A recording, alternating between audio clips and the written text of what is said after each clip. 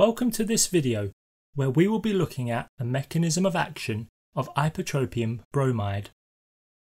Ipratropium bromide is an anticholinergic bronchodilator, meaning it binds to a specific type of cholinergic receptor and inhibits its activation, leading to bronchodilation. Cholinergic receptors are those that are activated when they bind the neurotransmitter acetylcholine. They are located on various cells throughout the body and are part of the parasympathetic nervous system. Cholinergic receptors are the target site for multiple treatments in various medical fields, such as cardiology and respiratory medicine. There are two types of cholinergic receptors called nicotinic and muscarinic, named after the drugs that work on them. So, nicotinic receptors respond to acetylcholine and nicotine.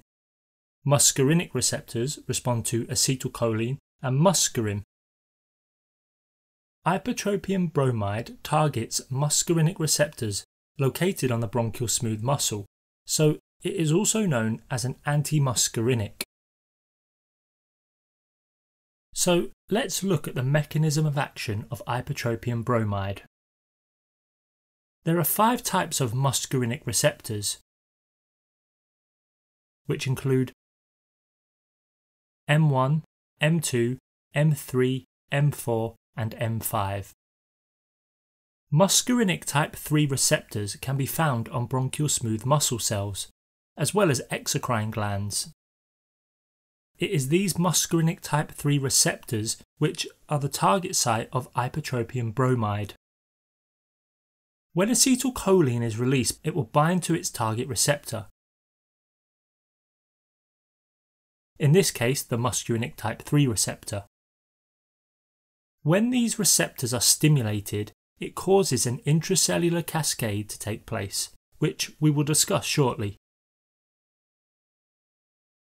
This intracellular cascade causes a rise in intracellular calcium, which causes muscle contraction by increasing actin and myosin crossbridge formation. Therefore, muscarinic 3 receptors cause bronchial constriction when the neurotransmitter acetylcholine is bound to it. Ipratropium bromide is a competitive inhibitor of acetylcholine, binding to the muscarinic type 3 receptor and inhibiting acetylcholine from exerting an effect. This will then lead to relaxation of bronchial smooth muscle, leading to an increased airway diameter and easier passage of air, making it easier to breathe. Now let's look at the intracellular cascade that takes place when acetylcholine binds to a muscarinic type 3 receptor, so that we can understand how ipratropium bromide works and the pathway in which it is inhibiting. In understanding the clinical application of ipratropium bromide, this part isn't important, so feel free to skip ahead. Timestamps are in the description below. Muscarinic type 3 receptors are seven transmembrane receptors, which mean they pass through the membrane and do so seven times. Each of these seven subunits that pass through the cell wall are called alpha helices, and an alpha helice is how we describe a coiled shape of an amino acid. These seven transmembrane receptors are also known as G protein coupled receptors. As the name implies, these are coupled with G proteins that are located within the cytoplasm of the cell. These G proteins have the ability to bind guanosine triphosphate, known as GTP, and to guanosine diphosphate, known as GDP. In the inactive form, these G proteins are bound to guanosine diphosphate.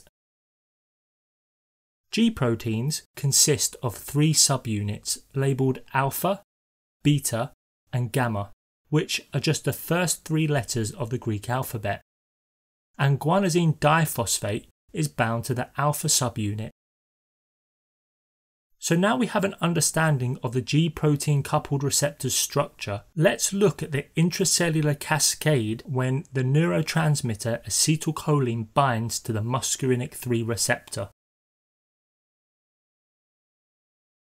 When acetylcholine binds to the muscarinic 3 receptor, it causes a conformational change in the receptor's shape.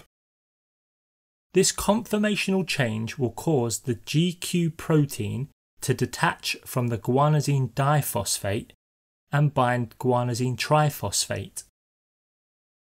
The G protein is now active and the alpha subunit will now dissociate from the beta and gamma subunits and will bind to and activate a membrane bound protein called phospholipase C.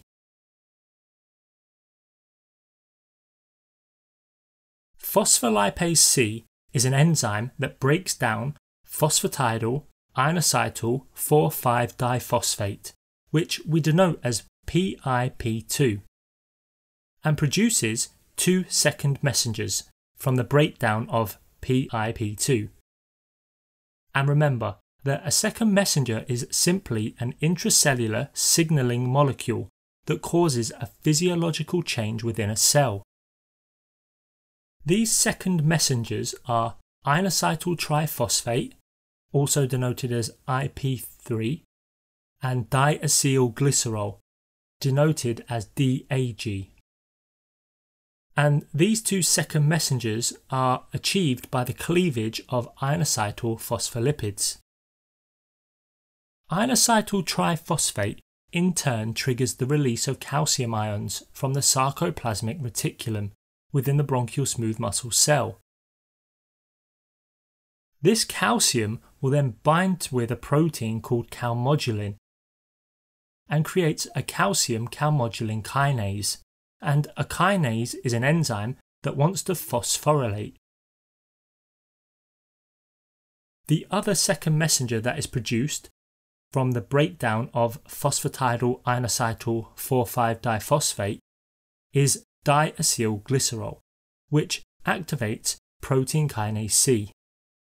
The calcium calmodulin kinase and protein kinase C will cause an increase of calcium release from the sarcoplasmic reticulum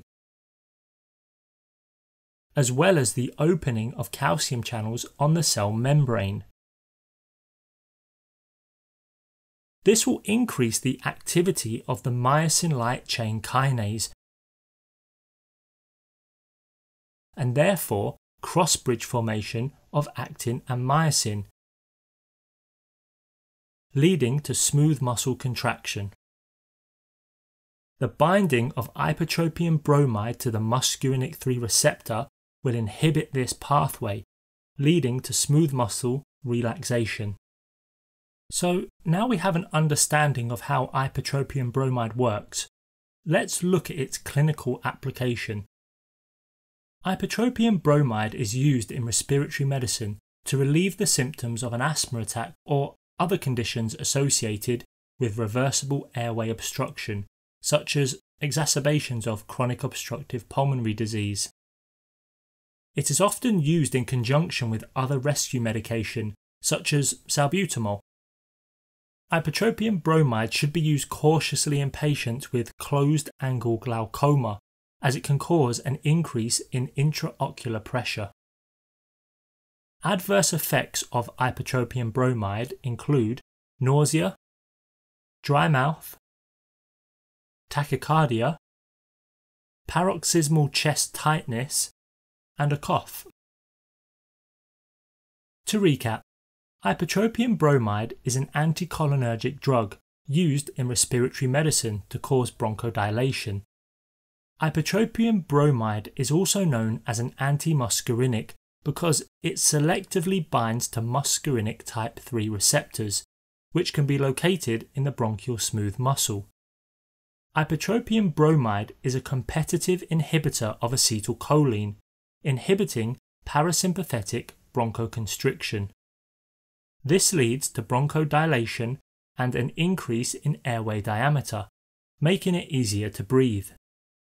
Thank you for watching, and I hope you found this video helpful. Be sure to check out our other videos on pharmacology, and if there are any topics you would like us to cover, then please leave a comment in the comment section below.